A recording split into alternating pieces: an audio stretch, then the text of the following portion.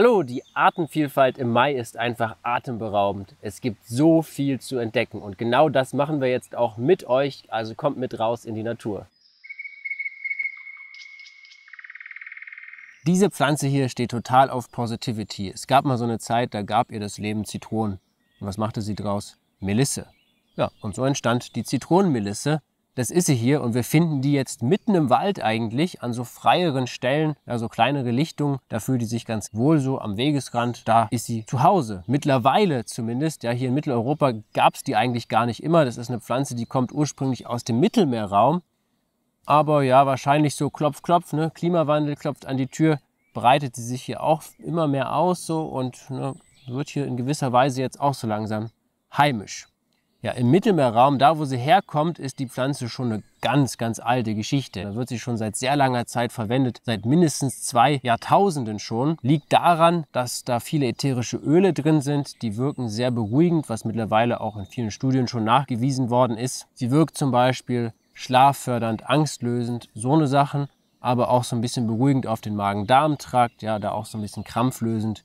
All so eine Sachen. Deswegen also schon eine ganz lange Anwendungsgeschichte im Mittelmeerraum. Aber im Mittelalter hat man davon hier auch gehört, ja. Und die Jungs und Mädels im Mittelalter fanden die Pflanze hier auch so geil, dass sie sie sich gleich angebaut haben. Aber damals war sie wahrscheinlich noch nicht so in den Wäldern zu finden, wie es jetzt mittlerweile ist. Wie kann man sie jetzt erkennen? Ist ein bisschen schwierig, gerade wenn sie jetzt noch nicht blüht.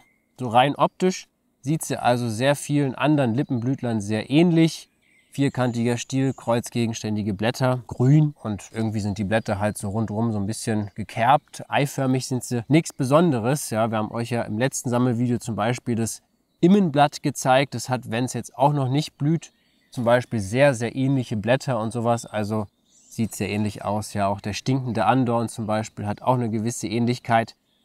Am aller einfachsten kann man die Pflanze natürlich über ihren Duft bestimmen. Ne? Wenn man an den Blättern reibt, wird man gleich dieses ganz typische Aroma wahrnehmen von Zitrone bzw. Zitronenmelisse. Also das ist jetzt erstmal ein super Merkmal, worauf man sich da ganz gut fokussieren kann, wenn man die Pflanze sucht und dann vielleicht auch findet.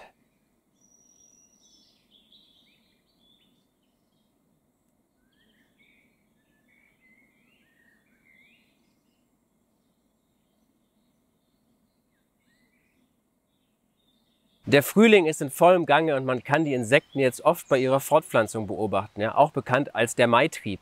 Aber Maitrieb ist eben doch ein dehnbarer Begriff, denn auch hier haben wir einen Maitrieb und zwar den von der Fichte. Ja, und den kann man jetzt wunderbar sammeln. Überall an den Fichten kommen jetzt so an diesen kleinen Zweigen frische Triebe raus, in so einem richtig schönen Grasgrün. Ja, das ist auch nochmal so Deutsch-Leistungskurs vielleicht. So ein bisschen die Steigerung der Sprache. Ja, grün, grüner Fichtentrieb. Habt ihr wahrscheinlich alle so gelernt in der Schule. Da muss man schon ein bisschen was beachten. Das sind nämlich richtig schöne Köstlichkeiten. Aber wenn man jetzt an einem falschen Baum die Maitriebe sammelt, dann sind es eben vielleicht auch so eher Tödlichkeiten. Ja? Deswegen unbedingt mal unser Video zur Eibe anschauen in der Infobox. Ja? Ganz wichtig, denn die Eibe, die macht eben auch Maitriebe. Ja? Und die sind eben sehr tödlich, absolut tödlich. Aber die Fichte, die sind ganz toll. Und da gibt's so zwei Merkmale, die recht wichtig sind, ja, bei der Fichte, um die zu erkennen. Das eine ist, dass die Nadeln so ein bisschen rundrum um die Zweige angeordnet sind, ja, jetzt nicht irgendwie in Reihen oder irgendwie sowas alles. Und die sind auch wirklich spitz, ja. Also sie sind jetzt nicht irgendwie abgerundet oder sowas, die Nadeln, sondern ziemlich spitz. Ja, da kann man einfach diese Triebe ganz easy abpflücken, ne? natürlich auch bestandsschonend. Das macht man auch nur bei größeren Bäumen. Jetzt nicht, wenn irgendwo nur so eine kleine Babyfichte steht, dass man da jetzt die Triebe abpflückt, ja, und die irgendwie dabei ja so ein bisschen blockiert, größer zu werden, sondern ja, nur bei großen ne, und so bei mehreren Bäumen verteilt. Da ist Vitamin C drin und ätherische Öle. Das eignet sich also sehr gut für so Sirup und sowas, ja, oder so ein richtig dickes Sirup, was dann schon eher Richtung Honig geht. Aber man kann damit auch wunderbar zum Beispiel Eis herstellen. Also das machen wir ganz gerne, ja, so mit gefrorenen Bananen und sowas. So ein schönes waldiges Eis. Schmeckt ja sehr zitronig, waldig irgendwie, diese Triebe. Man kann sie aber auch wunderbar sauer in Essig zum Beispiel einlegen mit verschiedenen Gewürzen. Ja, da muss man halt kreativ sein und ein bisschen ausprobieren. Man kann wirklich viel damit machen. Sogar Bierbrauen soll wohl gehen. Haben wir jetzt selber auch noch nie probiert. Ja, ob das schmeckt oder geht oder wie auch immer. Aber könnt ihr mal schreiben, wenn ihr das gemacht habt. Aber ja, auf jeden Fall jetzt die beste Zeit der Mai für Maiwipfel, Fichtenwipfel, Fichtentriebe, wie man sie auch immer nennen mag. Und schreibt uns gerne auch mal in die Kommentare, was eure liebsten Rezepte damit sind, denn wir fragen uns jedes Jahr wieder aufs Neue, was sollen wir damit jetzt eigentlich machen. Machen wir die einfach in den Salat oder ja. Also wir sind da immer so ein bisschen auch am Rätseln, was wir jetzt eigentlich damit machen wollen. Schreibt es uns.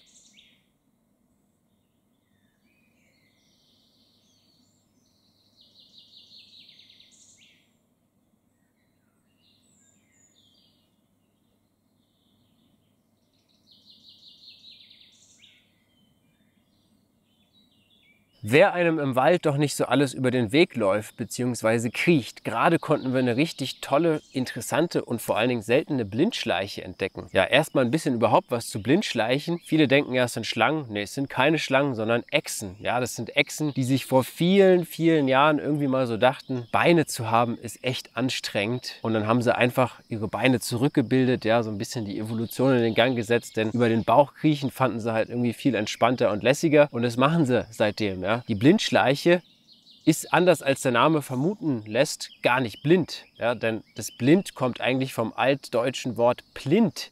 Und das heißt so viel wie blendend, ja, weil die Blindschleiche so ein bisschen so einen metallischen Glanz hat im Licht und deswegen heißt sie so. Aber eigentlich kann sie schon sehen. Ja, was war jetzt so das Besondere an der, die wir hier gerade sehen konnten?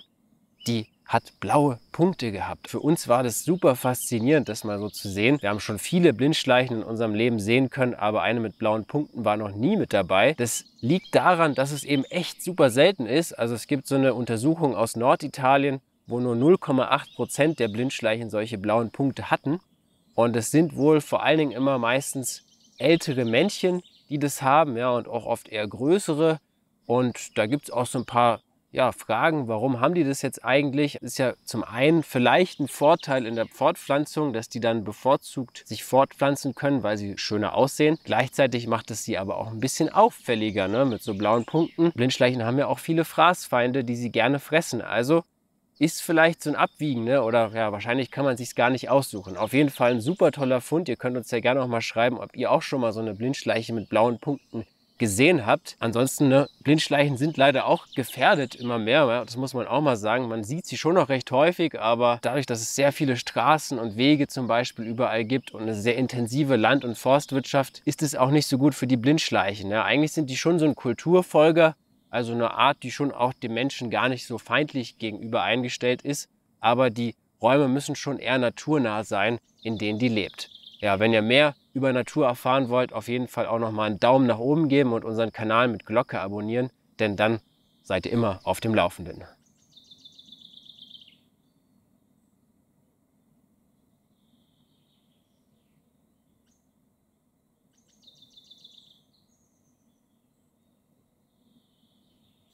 Nicht überall, wo Teufel draufsteht, ist auch Teufel drin. Diese Pflanze hier schmeckt jedenfalls überhaupt nicht nach Teufel. Wir haben es zumindest noch nie festgestellt und wir haben sie wirklich schon sehr oft gegessen. Das hier ist die ährige Teufelskralle, die jetzt wunderbar blüht. Man kann sie jetzt in Wäldern finden und zwar meistens an Wegesrändern. Ja, hier ist es jetzt ein bisschen kalkreicherer Standort und der Boden ist so ein bisschen lehmig, jetzt auch nicht super nährstoffarm. Und da fühlt die sich sehr wohl und an solchen Orten tritt die dann auch gerne wirklich in riesigen Beständen manchmal auf. Da kann man hunderte Pflanzen teilweise finden. Ja, und jetzt ist so die Zeit gekommen, wo man diese wunderbaren Blüten essen kann und sammeln kann. Ne? Zumindest da, wo die Bestände sehr groß sind, immer ganz wichtig. Man kann sie natürlich auch, wenn man möchte, anbauen im Garten. Ja, auch eine gute Idee wahrscheinlich. Wir haben eben diese Blütenähren, ja, richtig groß. Und die fangen jetzt so von unten nach oben an zu blühen. Und unten sehen wir so überall lauter kleine weiße Blüten und so. Ja, richtig hübsch sieht das Ganze aus. Und das blüht dann jetzt so nach und nach nach oben hin immer weiter. Da kann man jetzt einfach diese Blüten nehmen, ja, wenn man will, auch noch mit ein bisschen Stiel vielleicht und die entweder roh essen oder man dünstet sie. Das geht auch ganz gut. Im Frühling haben wir die Blätter gesammelt, im Winter teilweise auch die Wurzeln, da ist ja auch sehr viel dran. Also einfach alles in allem eine wunderbar ergiebige Wildpflanze. Aber diese Blüten sind nochmal ein ganz besonders tolles Highlight. Also die sammeln wir richtig gerne. Und da ist jetzt der Mai die perfekte Zeit zu. Es ist ein bisschen unterschätzt auch. Ne? Also so in Südeuropa ein bisschen bekannter als Wildgemüse, aber hier in Mitteleuropa gar nicht mehr so bekannt. Eigentlich schade, ja. Also die ährige Teufelskralle, die kann man jetzt gut sammeln.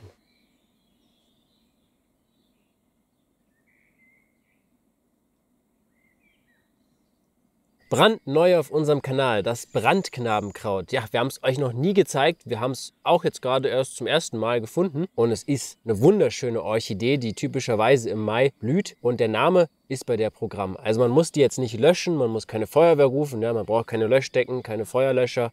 nichts dergleichen, auch kein Leiterwagen, denn der Name ist insofern nur Programm, dass sie so ein bisschen verbrannt aussieht, ja, nämlich oben, da wo die Blüten noch nicht aufgeblüht sind, da haben wir so ein ganz dunkles Rot, ja, was halt so ein bisschen verbrannt aussieht. Die aufgeblühten Blüten, die sind dann so richtig weiß eigentlich, ja, aber auch so ein bisschen gesprenkelt, haben so ein paar kleine Punkte drauf in so einem Rotton.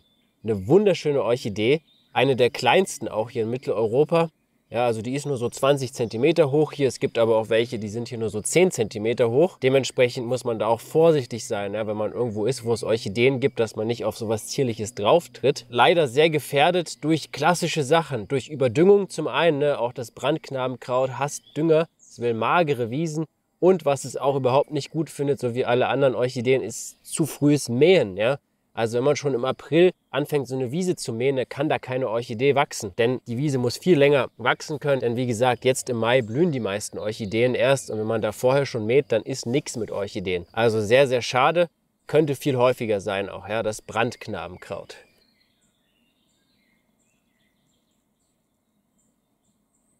Jetzt wird wieder Make-up aufgetragen. Ja, wir sind hier auch auf einem Kanal. Hier geht es auch mal um Make-up und zwar um Make-up für Asphalt und für Autos und all solche schönen Sachen. Sollte man nämlich auch unbedingt berücksichtigen. Ja, auch Straßen wollen mal ein bisschen anders aussehen oder Autos. Ich finde es auch nicht gut, immer nur so schwarz zu sein oder so in einer Farbe die ganze Zeit. So ein schönes Gelb hin und wieder da drauf. Ja, das tut der Sache richtig gut. Und hier haben wir jetzt die Quelle fürs Make-up, nämlich die Waldkiefer. Ja, und die fängt jetzt so gut wie an zu blühen. Ja, teilweise blüht sie schon und die setzt dann den Pollen frei. Ja, den Kiefernpollen, auch bekannt als Peinpollen. Und der ist gerade überall in der Landschaft auch sichtbar teilweise, ne, wo er sich so ansammelt und so eine schöne Schicht bildet. Ja, der Kiefernpollen, der enthält Testosteron, der enthält auch unfassbar viele Nährstoffe. Also das ist so ein richtiges Paket, was sich da die Natur zusammengeschnürt hat an Nährstoffen. Und dementsprechend ist dieser Pollen schon sehr interessant, auch durchaus für die Ernährung. Und wenn ihr mal wissen wollt, was da genau alles drin ist und so und wie man den jetzt überhaupt ernten kann, ja, dann muss man ja auch erstmal irgendwie hinkriegen. Wir wollen den ja jetzt nicht von der Straße abkratzen. Dann schaut am besten mal unser Porträt dazu an.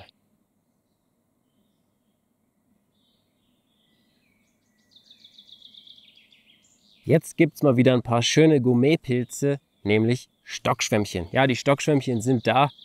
Die sind eigentlich fast immer da. In gewisser Weise wir hatten mal unseren frühesten Fund so vor zwei Jahren oder wann das war, im März. Ja, und jetzt hier im Mai ist auch schon eine typische Zeit für die, ist jetzt gar nicht so ungewöhnlich. Auch wenn sie schon ihren Schwerpunkt natürlich im Herbst haben, das ist klar. Aber man kann vereinzelt jetzt immer schon mal welche finden. Ja. Standort Totholz. Hier ist so ein Baumstumpf, der ist schon richtig morsch und schon ziemlich alt. Und der ist jetzt hier komplett besiedelt. Braucht dann durchaus auch ein bisschen Regen natürlich vorher, ne, dass die auch kommen so, dass dieses morsche Holz nochmal schön feucht ist und so. Wir haben jetzt hier mal so einen Faktor, der beim Pilzesammeln immer eine große Rolle spielt. Ja, und den, da denkt man natürlich überhaupt nicht dran, weil ist ja ganz entfernt, aber ja, die Natur. Und zwar sehen wir jetzt hier die Stockschwämmchen. Und eigentlich haben wir jetzt ein Merkmal, was bei denen ja ganz typisch auch ist, ja, gerade wenn die noch so schön frisch sind, dass die auch so ein bisschen so einen, ja, so wie so einen leichten, speckigen Glanz durchaus haben. Gerade wenn sie so ein bisschen feuchter sind oder sowas. Aber jetzt hier sehen sie fast so aus, als hätten sie Schüppchen auf dem Hut. Ja? Das kann man jetzt hier überall sehen. Das sind einfach Pollen. Ja? Die sind komplett voll mit Pollen. Und Deswegen scheint es so ein bisschen so, als hätten die Schüppchen. Ja, wir schauen uns die mal noch mal ein bisschen an, ne? denn es ist ja schon ein Pilz, der tödliche Verwechslungspartner hat. Das ist ganz wichtig, die richtig zu bestimmen. Ja, es wachsen sehr viele Pilze auf so morschem Holz. Was wir hier eben haben, ist am Stiel sind Schüppchen. Ja, wir haben wie so einen Ring, irgendwie so eine Ringzone und darunter sind ganz viele Schüppchen. Die sind nur ganz klein. Die sieht man vielleicht auch nur gut mit einer Lupe. Ja, vielleicht sieht man sie auch so gut. Aber die müssen unbedingt da sein, diese kleinen Schüppchen sonst auf gar keinen Fall Stockschwämmchen sammeln. Ja, dann sind es nämlich vielleicht keine, sondern Gifthäuptlinge, tödlich giftige Pilze, ja, die das gleiche Gift haben wie der grüne Knollenblätterpilz. Will man auf jeden Fall nicht essen. Gibt aber noch schöne andere Verwechslungspilze, ja, zum Beispiel den grünblättrigen Schwefelkopf. Der wächst jetzt auch schon ganz typisch um die Jahreszeit. Ja. Der ist genauso wie das Stockschwämmchen. Eigentlich, so wie die Fröste weg sind, kommen die. Ja, und die bleiben dann auch wieder, bis die ersten Fröste da sind. Also ist so ein richtiger Langzeitpilz. Und der hat ja nur wieder diese ganz markanten, ja, so diese gelblich-grünlichen Lamellen und sowas, ja. Also das Stockschwämmchen muss auf jeden Fall die Schüppchen haben. Ja, dann haben sie auch einen sehr angenehmen Duft, auch ein wichtiges Merkmal. Die riechen richtig schön pilzig, aromatisch, ja. Zum Beispiel der Gifthäuptling. Der riecht ja eher so ein bisschen mehlig, komisch, ja, nicht so gut. Und ja, wie gesagt, der Hut, ne, der eigentlich natürlich keine Pollenschicht hat, es sei denn, es sind Pollen da, der ist hygrophan. Das kann man hier auch bei denen schön sehen, wenn man die Pollen so ein bisschen wegwischt. Das heißt, ja, in dem Fall haben wir hier oft so einen recht dunklen Hutrand und dann wird es wieder heller und in der Hutmitte ist er wieder so ein bisschen dunkler. Ja, das heißt also, hygrophan ist eben immer so, dass so die Intensität der Farbe, die Sättigung da so ein bisschen sich verändern kann mit der Zeit. Das hängt auch ein bisschen von der Feuchtigkeit ab und so. Und ja, der wächst eigentlich fast immer auf Laubholz, also das Stockschwämmchen, ja.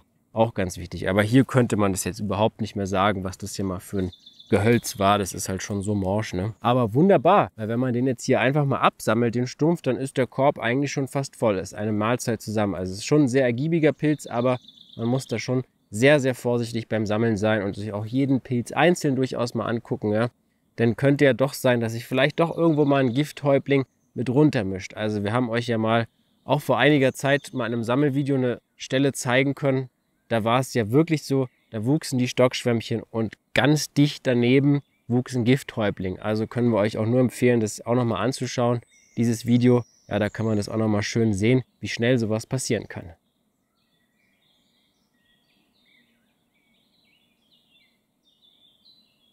Und plötzlich passiert dann sowas. Man findet Stockschwämmchen und da steht einfach eine Morchel nebendran. Also es ist unglaublich. Ja, eine Spitzmorchel haben wir hier. Und vom Habitat her waren wir jetzt hier auch natürlich, also wir waren überhaupt nicht auf Morcheln aus. Wir wären niemals hier an diese Stelle überhaupt hingegangen, wenn jetzt hier nicht die Stockschwämmchen gewesen wären. Weil das ist jetzt hier schon, ja, das sah jetzt hier nicht so aus, so vielversprechend für andere Pilze. Aber ja, eine Spitzmorchel. Und was haben wir hier für Bedingungen? Ja, tatsächlich welche, wie wir sie auch an anderen Spitzmorchelstandorten vorfinden. Also ist es vielleicht gar nicht so überraschend. Wir haben hier Fichten und Weißtannen, beides, ja, also und auch jetzt nicht nur so junge, sondern auch durchaus schon ein paar ältere Exemplare. Und was ganz wichtig ist hier, der Waldweg, der Forstweg ist geschottert. Wir wissen nicht mit welchem Gestein, aber es sieht ziemlich genauso aus nach dem gleichen Gestein wie auch an den anderen Standorten. Also es scheint eben so ein basisches Gestein irgendwie zu sein, womit die Wege geschottert sind. Und wir sind jetzt hier wieder in dieser typischen Übergangszone zwischen dem Weg und wo der Wald so richtig losgeht. Ja, denn dieser Wald hier, der ist eigentlich quietschsauer. Hier sind überall Heidelbeeren und lauter Säureanzeiger. Und die Morcheln wachsen eben genau in dieser Übergangszone, wo es halt wahrscheinlich von dem Schotter ein bisschen basisch ist, von dem Wald ein bisschen sauer und irgendwie hier vielleicht so ein bisschen ins Neutrale reingeht oder sowas. Also wieder so ein ganz typischer Standort. Ja, hier ist so Moos und Gräser und so. Sieht ziemlich ähnlich aus, aber hat uns jetzt mega überrascht. Die bleibt aber natürlich hier, denn die ist schon ein bisschen drüber, schon ein bisschen zerfressen. Plus, die muss ja unbedingt aussporen hier. Wir wollen nächstes Jahr hier welche finden, ja, wenn wir dann gezielt hierher kommen, denn es ist ein neuer Spot fürs nächste Jahr.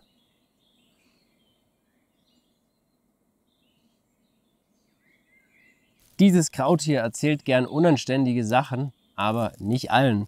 Denn wenn man die hören will, dann muss man nachts bei Neumond losgehen und von zehn verschiedenen Pflanzen immer ein Blatt essen. Wenn man dann unreinen Herzens ist, aber auch nur dann, dann hört man die bösen, versauten Geschichten. Ja, das Kraut hier ist das Ferkelkraut und wir haben uns gerade einen neuen Mythos ausgedacht. Also könnt ihr ja weiter in die Welt tragen. Ja, vielleicht wird man ja in 100 Jahren so, sich so erzählen, ja, ja, damals die Leute, die haben das so gemacht. Können wir ja mal versuchen, ne? Ja, das Ferkelkraut ist was ganz Tolles eigentlich und doch was ziemlich Unbekanntes. Es ist eine Wildpflanze, die ist sehr häufig. Also hier wächst sie jetzt auf einem Forstweg, die wächst aber auch super gerne so auf Wiesen und an Waldrändern und so. Ist eigentlich ziemlich häufig und als Wildpflanze, so als essbare Wildpflanze gar nicht so bekannt. Also gerade hier so in Mitteleuropa. In Südeuropa schon eher. Anscheinend gibt es davon sogar in Griechenland irgendwie so eine Zuchtform und sowas. Ja, und auch in Italien ist es wohl ein bisschen bekannter, die Pflanze. Aber hier recht unbekannt, auch medizinisch sehr unbekannt, also hat jetzt auch keine großartige Geschichte irgendwie in der Naturheilkunde, einfach nicht so richtig existent. Über die Inhaltsstoffe wissen wir auch so gut wie gar nichts tatsächlich. Also ja, es gibt eben so Pflanzen, ne, die sind so häufig, die sieht man die ganze Zeit und doch weiß man nichts über die. Ja, das ist sowas. Man weiß halt schon, dass sie jetzt anscheinend nicht giftig ist und sie zählt als essbare Pflanze. Ja, jetzt ist ja so langsam eine Zeit, wo ja doch durchaus viele Wildpflanzen nicht mehr so gut sind, ja, wo jetzt schon die ersten Blätter von manchen Pflanzen so ein bisschen fade werden oder wo die Pflanzen jetzt schon so ein bisschen zu blühen anfangen und einfach das nicht mehr so das Wahre ist. Und da ist jetzt das Ferkelkraut was ganz Tolles. Da finden wir jetzt gerade so Rosetten auf dem Boden. Und das blüht dann auch erst im Sommer, das Kraut. Ja, und deswegen ist jetzt eigentlich eine gute Zeit, das zu finden und auch zu ernten, die Blätter. Und es wird teilweise auch so ein bisschen als falscher Löwenzahn bezeichnet. Das ist deswegen, ja, weil es so ein bisschen Ähnlichkeit hat von der Blattform her, aber auch von der Blüte, ja, so entfernt. Also es ist jetzt nicht so super leicht bestimmbar, wenn man es jetzt noch nicht so oft gesehen hat, aber irgendwann kennt man es kennt ganz gut. Wir haben Zähne außen an dem Blatt. Ja, das sind so längliche Blätter, die sehen so ein bisschen aus, vielleicht wie so Zungen durchaus, ja, schmale Zungen, aber die haben rundherum so Zähne und die sind aber nicht spitz, sondern immer abgerundet. Und dann sind diese Blätter auch ziemlich behaart, also man spürt es und man sieht es auch. Und was auch noch ganz typisch ist, so im Sonnenlicht oder so, haben wir ein bisschen wie so einen fettigen Glanz auf den Blättern. Ja, auch ein ganz typisches Merkmal. Ja, und wie gesagt, die kommen so in Rosetten und sind dann ja auch einige Zentimeter lang, die Blätter, ja, also so 10 Zentimeter oder mehr sind da schon möglich. Ja, was bei dem Kraut das Tolle ist im Vergleich zum Löwenzahn, das ist so gut wie überhaupt nicht bitter. Also wer jetzt bitter nicht so mag oder so, oder sich so ein bisschen nach milderen Wildpflanzen umschaut, wird hier fündig beim Ferkelkraut. Ja, das ist also was richtig schön mildes, passt wunderbar in Salate, schmeckt so leicht nussig und einfach toll. Ja, was auch noch ein Merkmal ist, das tritt jetzt hier so langsam zutage, ja, da musst du jetzt noch warten, ist auch eine Milch. Also das milcht auch so ein bisschen, ja, wenn man die Blätter abgepflückt hat, kommt dann irgendwie so eine Milch raus. Die ist am Anfang weiß und die verfärbt sich dann recht schnell. Also hier geht es jetzt in so ein gelb-braun schon rein. Also das kann man auch ganz gut jetzt zu der Zeit bei der Pflanze beobachten. Ja, wie gesagt, Studien gibt so gut wie nichts dazu. Also da kann man noch ganz viel forschen, ja. Gibt nur so ein paar ganz kleine Tierversuche, die nicht auf Menschen übertragbar sind wo sich so eine schmerzlindernde Wirkung gezeigt hat und eine muskelentspannende aus bestimmten Extrakten. Aber wie gesagt, das ist alles jetzt noch nicht so der Rede wert. Da geht noch einiges. Also das Ferkelkraut, spread the word.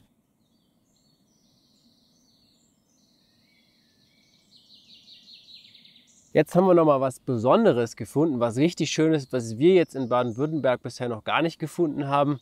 Aber ja, irgendwann ist immer das erste Mal. Wir kennen diese Pilzart eigentlich eher bisher aus Brandenburg. Hier haben wir wunderbare Lorcheln gefunden. Die Giftlorchel, die Frühjahrsgiftlorchel, die wächst hier an so einem Holzlagerplatz. Hier ist so teilweise so Rindenstücken und Holzschlitter und auch Äste und Baumstämme. Ja, und hier wachsen sehr viele Lorcheln, also bestimmt mindestens an die 30, wahrscheinlich sogar noch mehr, überall. Und hier sieht man sie mal richtig schön, wie sie so aussehen ja, sind jetzt hier auch ein bisschen mit Pollen voll. Ne? Das muss man sich auch wieder wegdenken. Aber wir haben eben einen Hut, der schon wirklich sehr an ein Gehirn erinnert. Ja, das ist halt dieses hirnartig gewobene, also sehr markant irgendwie so von der Form her. Wir haben jetzt hier so ein dunkelbraun, ja, manche gehen hier schon ins Schwarze sogar fast vom Hut her. Und dann haben wir darunter einen Stiel, der auch sehr runzelig ist, so, ja, also und weiß. Ganz schick auf jeden Fall auch. Und ja, wir haben einen sehr interessanten Duft auch. Der erinnert uns nämlich ganz stark an die Morcheln. Also die riechen schon sehr ähnlich nach Morcheln, riechen unfassbar lecker. Aber ja, das große Problem, Frühjahrsgiftlorchel, da hört man es ja schon, die ist unfassbar giftig, ne, dieser Pilz. Roh auf jeden Fall safe ein Ticket in den Tod, ja, wenn man die jetzt roh essen würde. Da führt dann gar kein Weg mehr dran vorbei am Tod. Das ist dann sicher. Und in Osteuropa werden sie ja teilweise zubereitet, ja auch immer noch jetzt. Da werden sie halt gekocht, sehr lange in Wasser und dann wird das Wasser weggegossen und so werden sie dort sozusagen essbar gemacht. Aber das ist eben nicht ganz ohne Restrisiko. Man ist da nicht auf der sicheren Seite, dass die Gifte da wirklich hundertprozentig draußen sind. Ja. Also die können immer noch drin sein, welche, und es kann immer noch zu einer Vergiftung führen. Plus, es ist dann auch noch kanzerogen wie es aussieht. Ja, also auf lange Sicht kann es also auch noch Krebs auslösen, wenn man diese Pilze isst. Also in vielerlei Hinsicht eine gefährliche Sache. Und wenn man die kocht im Topf, die Dämpfe, da sind dann halt die Gifte des Gyrometrin viel drin. Wenn man die einatmet, dann hört man schon so langsam so ein Lied in der Ferne, Knock, Knock, Knocking on Heaven's Door. Ja, denn diese Dämpfe sind halt dann auch giftig. Und wenn man das in der Küche macht, die auszukochen, dann kann man halt auch umkippen. Ja, da atmet man das ein und dann ist auch teilweise vorbei. Also eine sehr gefährliche Pilzart auf jeden Fall. Überhaupt nicht zu unterschätzen, aber trotzdem was Schönes. Ja, und der Standort ist eben bei denen eigentlich gerne so im sauren Nadelwald. Also so in Brandenburg findet man die zum Beispiel ganz häufig in diesen typischen Kiefernforsten auch, so auf Sandboden unter den Kiefern. Ja. Und hier in dem Fall ist es jetzt auch sauer. Hier haben wir jetzt eher so einen Granitboden oder sowas. Und hier haben wir jetzt eher Fichten und Tannen. Aber ja, diese Holzlagerplätze, ne, die lieben diese Pilze eben sehr. Und da kann man die finden. Aber sollte man auf jeden Fall kennen, damit man sie nicht isst. Ja. Früher hat man es teilweise eben auch hier noch gemacht. Da hatten sie auch noch einen anderen Namen. Da war der Trivialname tatsächlich mal Speiselorchel. Ja, und im wissenschaftlichen Namen steckt ja auch noch Esculenta drin. Heißt ja auch sowas wie essbar und sowas. Aber halt alles Irrtümer, gefährlich, ja, ist schon sehr viel passiert mit der Pilzart. Also haben schon viele Menschen Vergiftung von gehabt und sind auch dran gestorben. Hier haben wir jetzt die Lorchel und das Mikroskop gepackt. Wir können wunderbar die ganzen Schläuche, also Asci sehen. Und wir sehen auch Sporen und die sind elliptisch und in jeder Spore finden wir immer zwei Öltröpfchen.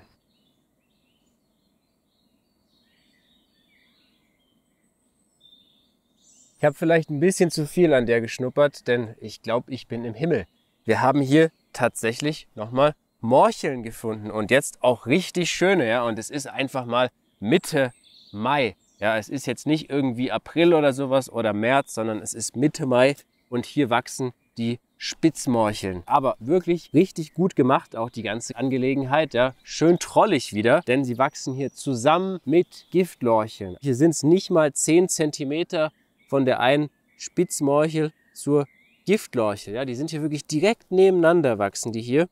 Und es ist hier eben auch immer noch der Holzlagerplatz. Es sind jetzt hier wahrscheinlich so diese klassischen Rindenmulchmorcheln, weil hier auch Rindenmulch liegt, ja, von alten Fichten und sowas. Und die teilen sich jetzt hier wirklich den gleichen Standort, beide Pilzarten. Und da haben wir eine wunderbare, absolut leckere Speisepilzart neben einer absolut tödlichen Giftpilzart. Aber ist natürlich super, denn so sieht man jetzt auch noch mal ganz deutlich, wie sie sich dann doch unterscheiden. Ja? Also wenn man sich das mal anguckt, die Spitzmorchel mit diesen Waben, ja, und diesen ganz auffälligen Längsrippen und im Vergleich dazu die Giftlorchel mit diesen hirnartigen, ja, die so hirnartig gewoben ist. Die hat keine Waben. Die Morchel hier, die hat Waben. Auch der Stiel ist schon anders. Ne? Die Giftlorchel, der ist viel so runzlig, grubig irgendwie. Und der von der Spitzmorchel, der ist recht glatt. Ja, der ist zwar so ein bisschen gleich von der Oberfläche, aber sonst jetzt bei weitem nicht so wie hier. Ne? Und wenn man sich die dann mal im Querschnitt anschaut, beide Pilzarten, dann sieht man auch noch mal, wie unterschiedlich die da aussehen. Ja? Die Giftlorche, da sieht man auch noch mal so diese ganzen Hohlräume und Kammern und sowas alles. Das sieht bei der Spitzmorche ganz, ganz anders aus. Ja? Die hat sowas von innen alles nicht. Also toll. Und hier wirklich unfassbar schöne Spitzmorchen. Essbar, ja, verwendbar noch, frisch. Man muss jetzt natürlich dazu sagen, dass wir jetzt hier auch schon auf ein paar Höhenmetern unterwegs sind. Also das wissen Sie jetzt nicht genau, aber es könnten so 900 bis 1000 Höhenmeter sein. Also deswegen wahrscheinlich auch jetzt das späte Auftreten dieser Pilzart nochmal. Aber es ist natürlich ein absolutes Prachtwerk hier, ja, wunderbar. Also ganz dicht und so auffällig, wie die hier aus dem Gras rausgucken, dass die hier noch niemand gefunden hat. Also ist natürlich auch ein bisschen Glück in der Sache, ja. Hier auch noch mal ein bisschen eine mit einem bisschen krummen Hut. Ja. Und hier eine, da fehlt die Spitze. Ja gut, die sieht schon ein bisschen lorchliger aus, ne? so ohne ihre Spitze. Aber sie hat immer noch die Waben. Also ganz klar. Ja, und hier noch mal eine schöne. Also richtig, richtig prächtig. Ja, wie Zipfelmützen. So soll es aussehen. Ja. Hier haben wir jetzt auch mal ein bisschen am Stiel. Bei der noch mal, ja, der ist auch so ein bisschen grubig, so zur Basis hin bei dieser Spitzmorchel hier. Aber es ist halt doch eine andere Art. Ne? Man sieht also hier ist es viel deutlicher bei der Lorche, noch viel intensiver ausgeprägt. Bei den Morcheln ist die Grubigkeit ein bisschen dezenter. Schöne Morcheln, die kommen auf jeden Fall mit. Die Lorche kommt auch mit, aber nur für ein bisschen Untersuchung noch. Die wollen wir uns noch mal ein bisschen näher zu Hause anschauen. Aber die wird natürlich nicht gegessen.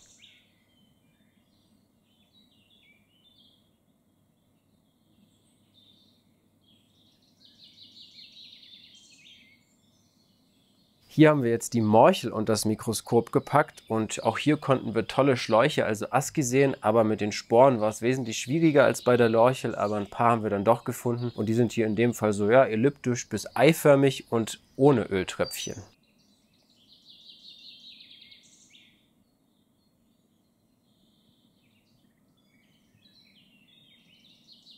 Also in Sachen Morchen läuft es überraschenderweise heute irgendwie fast besser als in der Hauptsaison. Ja, es war ja dies Jahr jetzt nicht so überragend viel zu finden. Aber jetzt hier geht es schon wieder weiter. Ja? Eine andere Holzlagerstelle, unwesentlich weiter. Und hier wunderbar, richtig schöne Morchel. Noch eine schöne Morchel. Ja gut, ja. Und hier eine Morchel. Ja, und die wachsen hier am Wegesrand hier aus. Hier ist so ein bisschen, ja, hier ist so Holzstücken liegen hier rum und so ein bisschen Schotter und sowas. Und dann haben wir jetzt hier auch ganz spezielle, die jetzt hier wirklich an so einer unglaublich verdichteten Stelle hier wachsen. Also der Boden ist hier sowas von platt und festgefahren, aber hier wachsen doch einfach die Morcheln. Ja, schon spannend. Hier noch eine so. Und hier noch eine. Also gut, gut. Muss man ein bisschen abstauben teilweise, aber es lohnt sich auf jeden Fall.